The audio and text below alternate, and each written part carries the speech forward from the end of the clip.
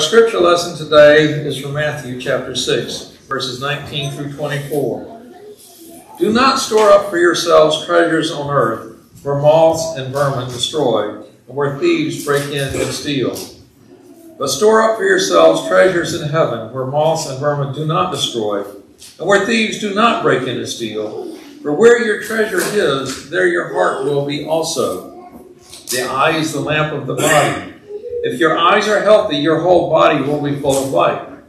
But if your eyes are unhealthy, your whole body will be full of darkness. If then the light within you is darkness, how great is that darkness? No one can serve two masters. Either you will hate the one and love the other, or you will be devoted to the one and despise the other. You cannot serve both God and money. This is the word of God for the people of God. Thanks be to God.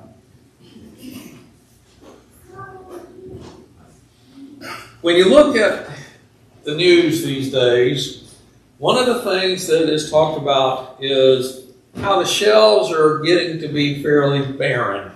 And you better get your Christmas shopping done quick because there's no guarantee that there's going to be what you want to get when it's time to come for those of us who wait till the last minute to look at shopping. All the tech gizmos, the new phones and things like that are going quick. All the latest toys and even the clothes they're predicting might be kind of missing when you go shopping. Now, they're attributing all of this to the disruption in the supply chain caused by the pandemic. And that is a significant factor in it. It's almost kind of reminiscent of Rudolph the Red-Nosed Reindeer. When the weather said we might he called Santa and say we're going to have to cancel Christmas because we can't get stuff to the kids. Well, the pandemic is making people have the same sense of foreboding, and there's no, no creature with a bright red nose to get us out of it. But part of it is all from the impact of advertising. For those of you in marketing, I'm not trying to beat you up. Amy spent some time in marketing herself, and uh, she taught me some of the tricks. But advertising is designed to make you feel like you need something that you really don't. You know, you deserve this neat new toy. You need to have this little gizmo. And the one that kind of gets me is one I heard a while back when I was still in systems consulting for the bank. We were developing a whole new check processing system for the bank, and a guy from marketing came to me and said, We need to add this new feature because this is sexy. And I looked at him and said, How in the world is check processing sexy? And he just looked at me like, Don't you know? no. That's not the first thing I think about when I think of sexy. Is check processing, running a bunch of checks through a sorter and getting them ready for sending out. But that's the type of thing that we see in advertising. All these ads are implying that this next little thing is going to make you happy. You see these advertisements with all these youthful people dancing around with the latest telephone. Or how much this nice couple needs this brand new car. Or you need that new outfit with the you know jeans, shoes, dress, jacket, whatever. On and on and on. And the kids have certainly got to have that brand new toy that just came out that's going to disappear. And of course, you got to get yourself that new 72 inch TV because the 50 inch one you got just ain't big enough. See, advertising purposely uses psychological principles developed by Sigmund Freud to get you to convince yourself that what you want is actually a need. And the idea is that they send the message often enough that eventually you get it into your psyche that your desires, your wants, are actually your needs. It's the same type of thing that Joseph Goebbels used to convince the German people prior to World War II that what Hitler was offering was what the country needed. Advertising takes our desires and convinces us that those things are our needs and we can't do without them. It has led to something that uh, has been described as affluenza. That term was first used in 1973, which is the year I graduated high school, so it's been a while. And the term affluenza, basically, according to Merriam-Webster, means the unhealthy and unwelcome psychological and social effects of affluence, regarded especially as a widespread societal problem, such as feelings of guilt, lack of motivation, and social isolation experienced by wealthy people.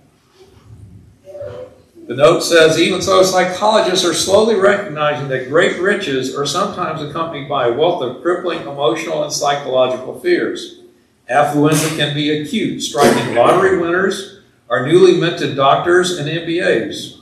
It can also be a chronic and pervasive condition in families where riches extend through generations. A sub-definition says, affluenza is extreme materialism and consumerism associated with the pursuit of wealth and success and resulting in a life of chronic dissatisfaction, debt, overwork, stress, and impaired relationships basically, it leads to a dissatisfaction with life. Because what you have is never going to be enough. So, how do you know if you have any of the effects of affluenza in your life? Well, are your credit cards maxed out from purchasing stuff? Do you need a storage unit for your stuff? Now, keep in mind, storage unit rental is one of the fastest growing businesses in the country, breaking in several billion dollars a year. Do you feel guilty about having stuff you don't use? And I got to confess, that's me. I've got seven guitars, two mandolins, a bass, and a tenor sax, and I almost never get a chance to play any of them. And I don't like that. You have a savings account, but not much in it, and it isn't growing. Do you, do you enjoy buying stuff just for fun? Are you spending more and more, but enjoying life less? Now, it is possible to recover from affluenza, but it takes some real deep soul searching. First, you have to, like anything, admit the possibility that you have it. And you have to review your priorities for life. What is your attitude towards money? Do you never have enough? Or do you always need more? Is money your tool or your master? That Jesus says in 624.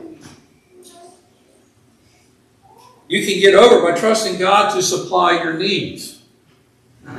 John Wesley, the founder of Methodism, had a lot to say about money. He's best remembered for his quote, having first gained all you can, and secondly, saved all you can, then give all you can. Now, this was something that he made not just sermons about, but he actually lived it. A little bit of history on John Wesley. His father was an Anglican priest in a poor parish in England. He grew up dirt poor. They struggled week to week, day to day, just to have enough for food and clothing and shelter. When John Wesley felt the call to go into his father's business, his first attitude was, well, I feel called by God to preach, but not necessarily to take on my father's poverty. And so, for a while, he didn't. He took a position at Oxford University and became a fellow there. and was paid rather well for the time. And he enjoyed life. He took up tobacco and playing cards and brandy. And pretty much spent his money the way he wanted to. But something happened there that changed his whole attitude about it. He had just bought and finished paying for some pictures for his room. And one of the chambermaids came to his door to clean up.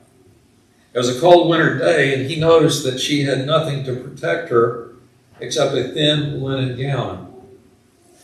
He reached into his pockets to give her some money to buy a coat, but found he had too little left.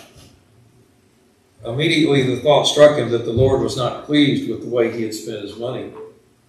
He asked himself, Will thy master say, Well done, good and faithful servant? Thou hast adorned thy walls with the money which might have screened this poor creature from the cold.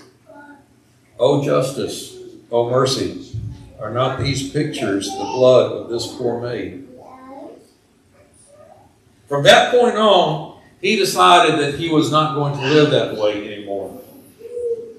Now, at the time, in 1731, he was making a, a yearly income of 30 pounds, which would have been a really good salary at the time. And for a single man to live on, it was more than enough. But he kept track of his expenses and his income, and he found that through the year, he only needed 28 pounds on which to live. He gave the other two pounds away. The next year, he doubled his income to 60 pounds, but still managed to live on only 28. So he gave away 32 pounds. The following year, he made 90 pounds, still lived on 28. The year after that, 120. But throughout his life, he kept his expenses at 28 to 30 pounds. One year he actually made 1,400 pounds, which would have been a good five figure salary today. He lived on 30 pounds and gave the rest away. His attitude was that Christians should not merely tithe, but give away all extra income once the family and creditors were taken care of. He believed that with increasing income, what should rise is not the Christian standard of living, but the standard of giving. He continued that throughout his life.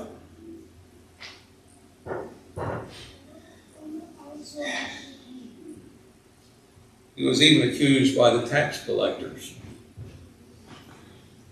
of not reporting things properly. Because there was a tax on the silver. And the tax commissioner came and inspected his tax return and wrote him the following We cannot doubt but you have plate, silver plate, for which you have hitherto neglected to make an entry.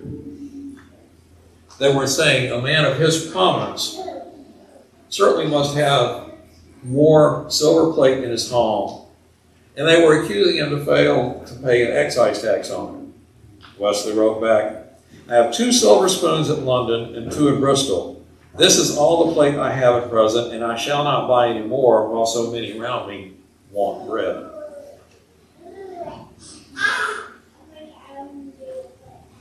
Now, you've heard what his basic rule was gain all you can,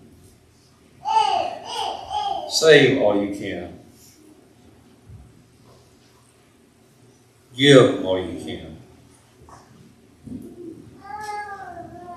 he pointed out that when people spend money on things they do not really need, they begin to want more things they do not need. Instead of satisfying their desires, they only increase them.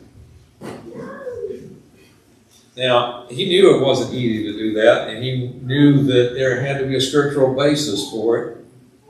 And so he set up four scriptural principles. Provide things needful for yourself and your family, which he gleaned from 1 Timothy 5 8.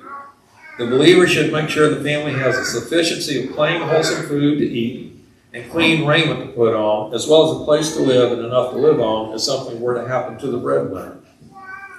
The second principle is having food and raiment. Let us be therewith content. That's from 1 Timothy 6 8. Whoever has sufficient food to eat and raiment put on, with a place to lay his head and something over, is rich, he said. Third, provide things honest in the sight of all men, Romans 12 17. And owe no man anything, Romans 13 8. Wesley said the next claim on a Christian's money is his creditors. Now, that is essentially true today. Because if you look at credit card debt and debt in this country, well, that is basically the current day version of slavery. How many of us are working to pay off debt?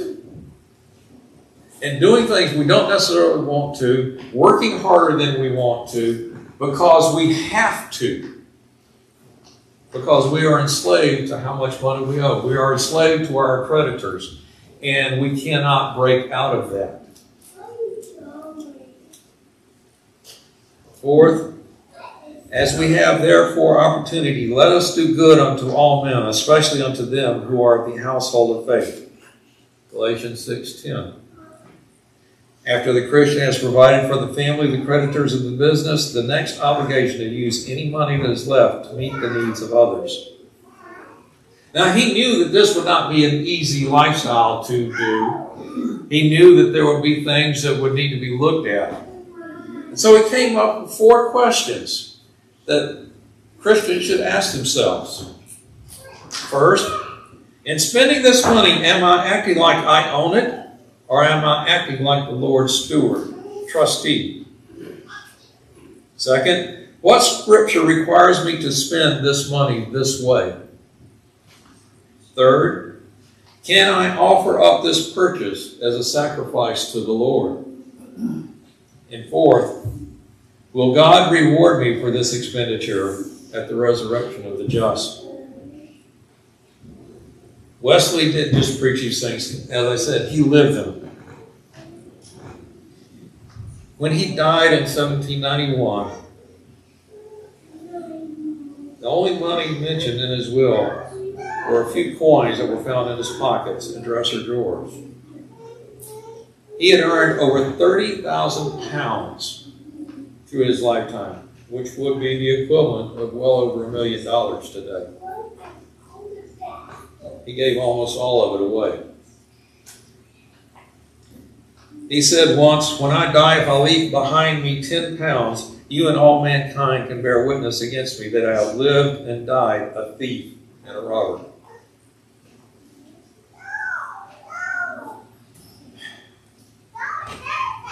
John Wesley set an example of what it meant to live with an abundance and how to use the abundance that he had. And it kind of comes down to what Jesus says in Matthew 6 as he continues Therefore, I tell you, do not worry about your life, what you will eat or drink, or about your body, what you will wear. Is not life more than food, and the body more than clothes? Look at the birds of the air. They do not sow or reap or store away in barns, and yet your heavenly Father feeds them. Are you not much more valuable than they? Can any one of you, by worrying, add a single hour to your life? And why do you worry about clothes? See how the flowers of the field grow? They do not labor or spin. Yet I tell you that not even Solomon in all his splendor was dressed like one of these. If that is how God clothes the grass of the field, which is here today and tomorrow is thrown into the fire, Will he not much more clothe you, you of little faith? So do not worry, saying, What shall we eat? Or what shall we drink? Or what shall we wear? For the pagans run after all these things, and your heavenly Father knows you need them. But seek first his kingdom and his righteousness, and all these things will be given to you as well. Therefore, do not worry about tomorrow, for tomorrow will worry about itself. Each day has enough trouble of its own. Are we really trusting in God to meet our needs? In our scripture passage, in the middle of it, Jesus says, The eye is the lamp of the body. If your eyes are healthy, your whole body will be full of light. But if your eyes are unhealthy, your whole body will be full of darkness. If then the light within you is darkness, how great is that darkness? That seems like an odd thing to throw in between two statements regarding money. But actually, it has to do not with what you're looking, your eyes, it has to do with what are the thoughts behind what you're looking at. Are you looking at things with a lust or desire for them? Are you looking at things with God's thoughts behind you? Is this something that you actually need?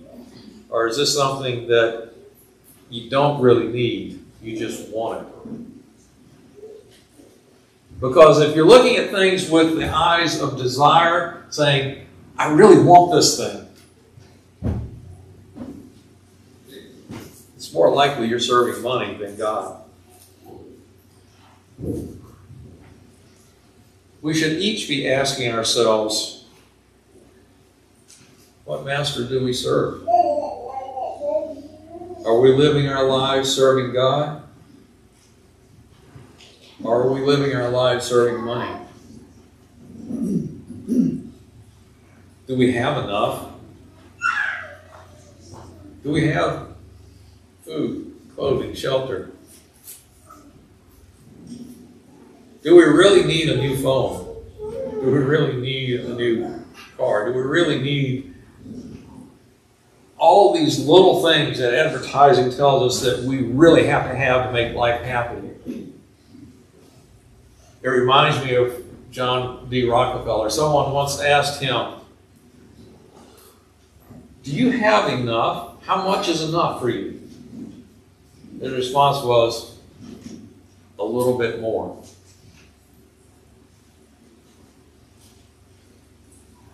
If we're looking at the things of this world to find happiness, we will never be satisfied. No matter what we purchase, no matter what we have, no matter what we get, any happiness or satisfaction will be short lived and then we'll become dissatisfied again. And that cycle will continue because we've gotten into the mindset of thinking we have to have stuff to make us happy we need to remember that all the stuff in the world is God's, not ours. It's not ours to purchase, it's not ours to own. We don't own anything, God does. We are His trustees, we're His stewards of what He has given us. Are we using it according to His will? How is His kingdom being advanced by what we do with our money.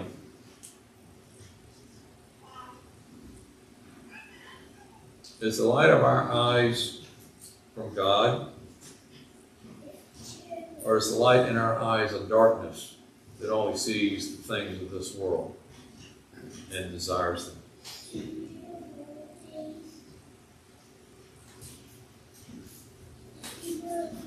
What master do we serve? Do we serve God? Or do we serve money?